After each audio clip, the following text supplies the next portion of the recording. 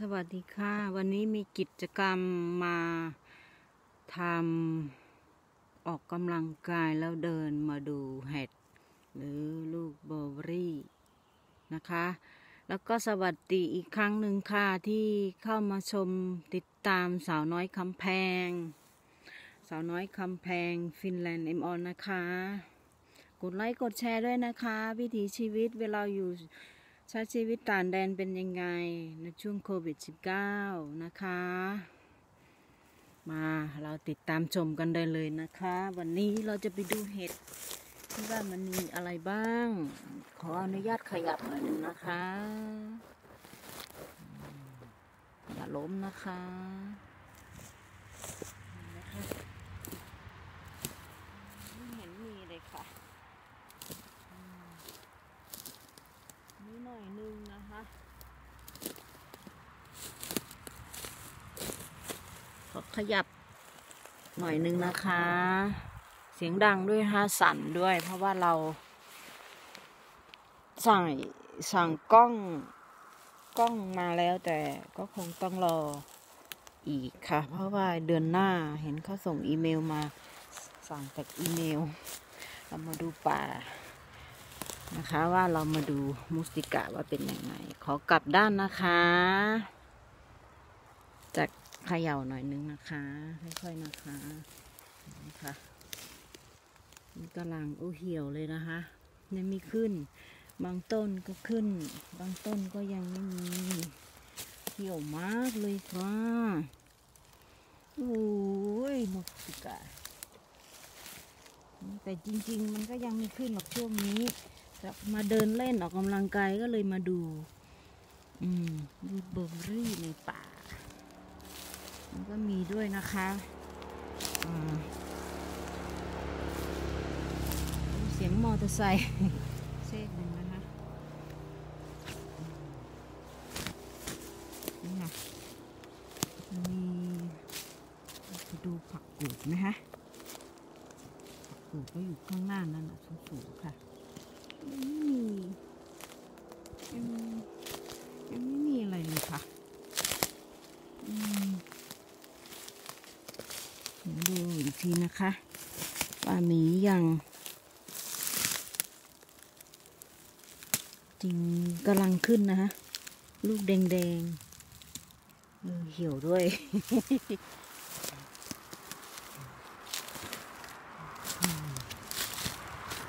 โอ้ย โทษทีค่ะ จะล้มเดินไปเดินมาขอหัก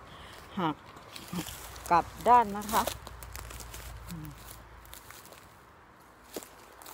ว่าจะเป็นยังไงอยู่ยังไงแล้วมาเดินออกกำลังกายด้วยค่ะ กิจกรรมอืมนึกว่าหนาวเอาเสื้อเสื้อเอาเสื้อหนาวมาด้วยนึกว่าจะอากาศจะดีนะคะพอเราเดินลงมันจะ เวียนเวียนหัวหน่อยนะคะ คนดูไม่สั่งไม้แล้วไม้ยังไม่มากำลังรอไม้ตัดวิดีโอนะคะอู้มอเตอร์ไซค์ก็ขี่ผ่านมามันก็ยังไม่มีอืมยังค่ะ อันนี้ต้น ลไม้อีกชนิดหนึ่งคล้ายๆสตรอเบอรี่ป่า แต่มันอีกอันหนึงที่ไม่ใช่สตรอเบอรี่ป่า มีหนามแต่เจ็บมือมากเลยนะคะ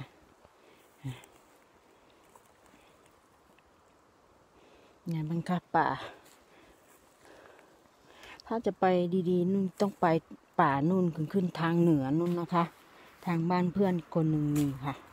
เขาอยู่ทางฮาเมงกือหรืออีกาลินเนนู่นพุ่นนะแถวนั้นนะป่าดีนะคะ ไม่แห้งแล้วผลไม้ก็เยอะ เดี๋ยวช่วงหน้าไปเดี๋ยวจะลงคลิปถ่ายให้ดูนะคะอันนี้นี่กำลังสวยๆนี่กำลังขึ้นนะอ่าแล้วพูดถึงอันนั้นโอ้ยนั้นต้นผักกูดอันนั้นผักกูดนะคะกลับด้านอีกทีนะคะ จริงถ้าเราไปเพื่อนงวดหน้าเราจะพาไปอีกทีหนึ่งค่ะ ต้นไม้ก็สวยด้วยนะคะ มันจะเวียนเวียนหัวหน่อยนะคะ เพราะว่าป่ามันจะเป็นหลุม อย่างนี้ละคะ่ะ เพราะว่า โอ้โอเดินแล้วก็เสียงดังด้วย เหยียบใบบงใบไม้ใบหญ้าอะไรอย่างนี้นะคะ นี่ป่ามันก็ต้องมีหญ้าใช่ไหมคะ มันก็ต้องเสียงดังนะคะพูดไปพากไป อืม แต่พูดถึงป่าที่ดีสุดมันจะอยู่ทางเหนืออากาศดี ทางหนอนนู่นขึ้นไปนู่นค่ะ วาสานู่นค่ะ ขึ้นไปนู่น อีกทางห้าเมงกิลือนู่นล่ะ เลยไป ป่าเขาจะดีมาก ป่าเขาย้ายกับเพื่อนค่ะ เดี๋ยวหลังหลังจากมันจะช่วงที่พวกผลไม้ออกเดี๋ยวจะไปหาเพื่อนค่ะ ไม่มีอะไรอะ มันแห้งอะ แต่นั้นเรามาผิดวันมาผิดป่านะเราต้องไปอีกป่าหนึ่งข้างบ้านอันนี้มีถนนรถผ่านด้วยนะคะอืมมันก็เป็นอย่างนี้แหละค่ะป่า ไม่ใช่เราจะเดินไปเดินมาเจอหน่อมงหน่อไม้อย่างนั้นเออของกินอย่างนั้น บักเซลยังสั่นยังสั่นเออพูดลาวแล้ว อย่างนั้นโอ้ถ้ามันมีก็ดีนะคะ มีหน่อไม้จักหน่อสองหน่อเพื่อจะได้เอาไปแกงกิน อืมนี่บาป่าฟินแลนด์ป่ายุโรปบางทีบางประเทศพวกสวีเดนหรืออะไรเงี้ยผลไม้หรืออะไรเนี่ยของกินเนี่ยเขาเยอะ ฟินแลนด์น่ะประเทศฟินแลนด์น่ะมันปลูกอะไรก็ไม่ค่อยจะขึ้นเท่าไหร่ เพราะว่ามันแดดมันไม่ค่อยจะมีเท่าไหร่ มีได้แค่สามเดือนสี่เดือนนี่แดดดีบางทีเดี๋ยวบางที summer บางทีฝนก็ตก วันหน้าร้อนเขาฉลองพวกไอหน้าร้อนเขาบางวันบางปีที่แล้วยังมีฝนตกฝนอะไรอยู่เลยนะคะ ปีนี้หวังว่าสุกนี้คงไม่มีฝนตกนะคะภาวนาค่ะ ฝนตกก็คือก็จบเลยนะคะ ไม่สนุกกิจกรรมข้างนอกก็มีแต่ ในบ้านนะคะรถจอดอยู่ตรงนั้นค่ะ อันนี้มันดูเหมือน ผักกูด ผักกูด ใช่ไหมคะ เออมันจะใช่นะ มันไม่ค่อยจะมีอะไรมาก มีแต่หญ้า นี่เราเดินออกมาข้างนอกนะเพราะว่าเดินข้างในลึกๆมันกลัวผู้ชมจะเสียงดังเวลาเราเดินเห็นไหมดังกรบแกรบกรอบแกบอย่างนี้เห็นไหมมันจะลำคาญหน่อยนะคะ อืม นี่ค่ะมูสิกาอันนี้ก็กำลังจะขึ้นนะฮะเนี่ยเห็นไหมคะเนี่ย อืมกำลังขึ้น อันนี้ด้วยค่ะกำลังเป็นเม็ดเม็ดๆดูอีกทีนะคะ เห็นไหมคะเม็ด ดูใกล้ๆนะคะ เม็ด เม็ด เม็ดติดกับป่า เหมือนบอเบอรี่ป่า ปีนี้คงไม่มีประชาชนคนไทยมาเก็บเพราะว่าช่วง ช่วงโควิดกันละทีนี้สงสัยมุติกะปีนี้คนต้องแพงแน่ๆเลย เพราะคนเก็บมันยากเข้ามาในประเทศฟินไม่ได้ทีนี้ก็มีแต่คนไทยอยู่ในฟินแลนด์นี่แหละค่ะ เก็บได้ถ้าขยันแล้วก็มีอะไรก็โอเคนะคะ ขอกลับด้านอีกนิดเดียวนะคะ ปีนี้คงไม่ค่อยมีคนไทย เพราะว่าช่วงนี้เป็นช่วงโควิด โทษทีค่ะ ถ่ายกล้องผิดปีนี้ต้องมุสิกาต้องแพง แล้วพวกพวกสตรอเบอรี่อะไรอย่างนี้น่ะ เห็นที่เก้าบริษัทอะไรไม่รู้เขาบอกว่าสตรอเบอรี่เขาบอกว่า คนฟินขี้เกียจไม่ประเก็บแล้วช่วงนี้ก็ต้องเขาบอกว่าคนฟินน่ะไม่มีคนฟินไปทำงานลำบาก ถ้าคนไหนไม่ขยันจริง ๆ ไปทำก็จะมีเก็บเห็นเจ้าของไร่สวนอะไรก็บ่นอยู่ ต้องการคน ปีนี้เลยคงจะขาดคนงานพนักงานพวกสเตตกรคนไทยเอเชีย เก็บกัน ปีนี้ต้องแพงแน่ ๆ เลย นนี้ก็กำลังจะขึ้นนะกำลังจะขึ้น ก็กำลังจะขึ้นนะคะค่อยๆเดินกล้าเดินแรงเพราะว่า มันเสียงดังกล้องอีกแล้วต้องขอโทษด้วยนะคะมือเปลี่ยนไปเปลี่ยนมาถ้ามีขากล้องก็จะดีแหละอุ้ยเห็ดเห็ดอะไรคะเนี่ย เดินฝั่งนู้นฝั่งนู้นเห็ด เห็ดอะไรคะเนี่ย กินได้ไหมเอ่ย ไม่รู้เหมือนกันเทียบเลย โอ้โอ้โอ้โอเห็นอะไรนะโอ้โอ้เดี๋ยวขอโทษนะคะ เห็นเห็ดแล้วตื่นเต้นค่ะ ตื่นเต้นตื่นเต้นเห็นเห็ดไหมคะเดี๋ยวถ่ายให้ดู เห็ดอะไรเอ่ยมันเห็ดเหลืองไม่แน่ใจ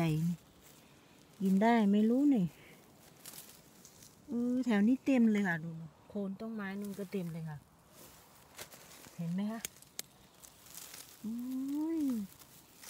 เราก็ไม่รู้ว่าจะกินได้ไหมคะ สวยนะคะ นี่ค่ะ กินได้ไหมเอ่ย เราไม่รู้เหมือนกัน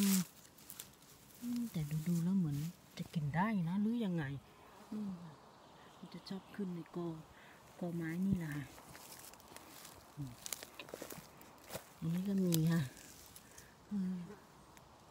เห็ดก็สำคัญ ขอ เพราะว่าก็ไม่แน่ใจว่าเราจะกินได้ไหมขอกลับด้านนะคะ เพราะว่าที่กินได้ก็รู้จักเห็ด กินก็กินสุ่มสี่สุ่มห้าก็ไม่ได้นะคะแพ้คนก็เข้าโรงพยาบาลบางคนก็ตายมาหลายคนแล้วนะคะ ห็ดนี่ก็อันตราย นี่ก็ไม่รู้เหมือนกันว่าเห็ดอะไร ค่ะโอ้ยเห็นจังได้โนเห็ดยังโนนี่จังวะโอ้ย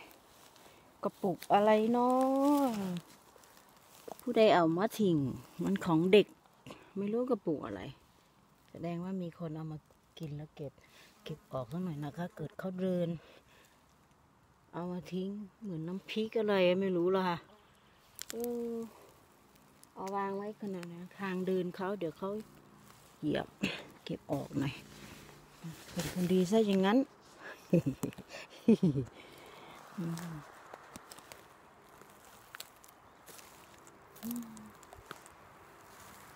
นี่เราเดินเมื่อกี้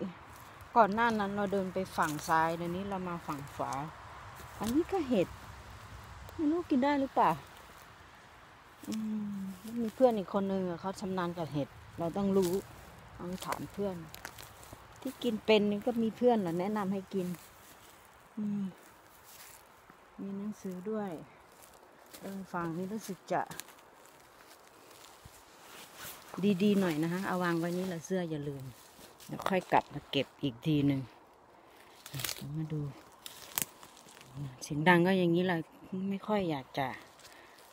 มาเก็บเห็ด เพราะมันเดินขึ้นเดินลง ไม่ค่อยจัด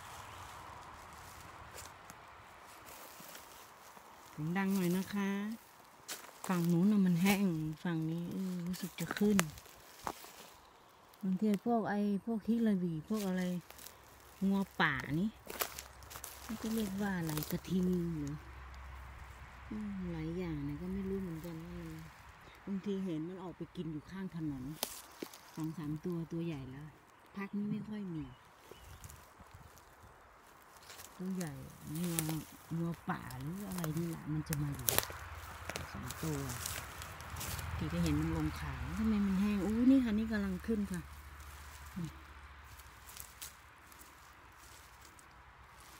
ถ้าอยู่ทางเหนือนะขึ้นไปฝั่งโน้นมันคงจะขึ้นแล้วค่ะเพราะว่าอากาศดี อากาศเย็น เย็นแล้วก็ร้อนไม่เย็นมากกำลังดีเสียงดังหน่อยนะคะอืมค่อยเดินค่ะเพราะว่า มันจะลายตามันสิไล่ตามันเสียงหยางยำอืมเดินออกกำลังกายอืม อ้โอ้โอ้โอ้กัดหน้าเห็นไหมนี่ก็กำลังจะขึ้นนะคะขึ้นบ้างไม่ขึ้นบ้างเป็นยังไงเนาะป่านี้มีผักกินเนาะอืมไม่มีผักอะไรเลยโอ้นั่นเสียงดังอีกละ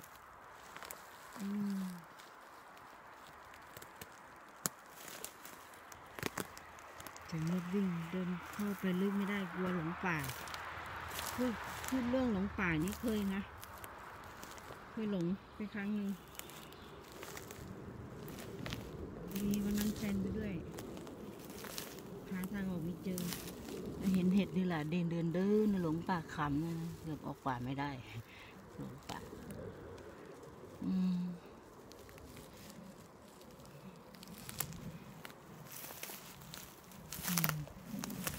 ค่อยมีนะมันอืมสองไมีมันแห้งค่ะหรือยังไงกดติดตาม กดไลค์กดแชร์นิโป้ให้ด้วยนะคะ เอาวางไว้ตรงนี้นะคะ เดี๋ยว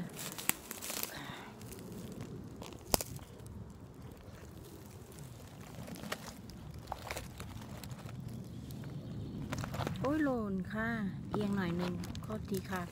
หรือยังไง ก็ขอขอบคุณที่เข้ามาชม แล้วก็ฝากกดไลค์ กดแชร์ กดติดตามด้วยนะคะ สาวน้อยคำแพงฟินแลนด์เอ็มออนนะคะสวัสดีค่ะ คลิปหน้ายังไม่รู้ว่าจะเอาอะไรมาลง ลงหัดทำไปเรื่อยๆนะคะ คลิปหน้าไม่น่าอาจจะไปมาร์เก็ตซื้อของขอบคุณค่ะ